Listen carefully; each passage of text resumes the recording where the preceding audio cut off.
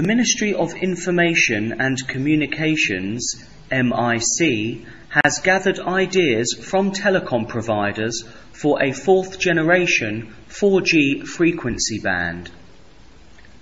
Responsibility for the task has been assigned to the Department of Wireless Frequency and Telecommunications and will be completed by the end of this year.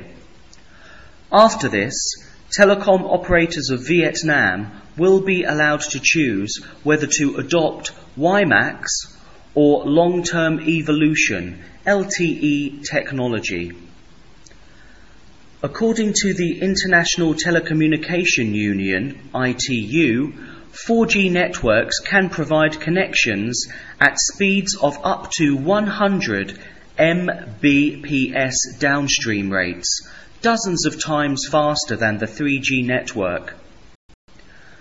So far, five companies have tested WiMAX, VNPT's wholly owned subsidiary, Vietnam Data Communications Company, VDC, FPT Telecom, EVN Telecom, Viettel, and Saigon Postel. FPT in Hanoi and Haiphong. Darren Crowhurst for English Time.